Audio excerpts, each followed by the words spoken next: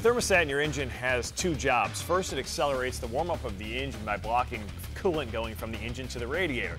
Now what that does is it allows your engine to get in the proper operating temperature so it runs smoothly. The second job is that it regulates the temperature of the whole system. It does that by opening and closing based on the temperature of the coolant that's going through it. So what we're going to do is simulate for you guys how a thermostat works in your engine by doing a little tabletop demonstration. We're using a Stant Superstat, which is a premium choice when you need to replace your thermostat.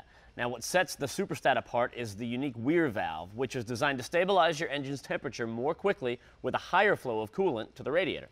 Thermostats have a rated temperature at which they'll start to open. Now this thermostat has a rated temperature of 195 degrees, so we're going to heat our water up to that number. While the engine warms up, the thermostat stays closed to restrict coolant flow. Once it gets within about 3 degrees of the rated temperature, a wax element in the thermostat melts and expands, forcing the center piston outward. If the coolant temperature begins to drop, the wax in thermostat will contract. You can see when we took that hot thermostat and dropped it in the cool water, the piston starts to go back in closing the thermostat to decrease coolant flow.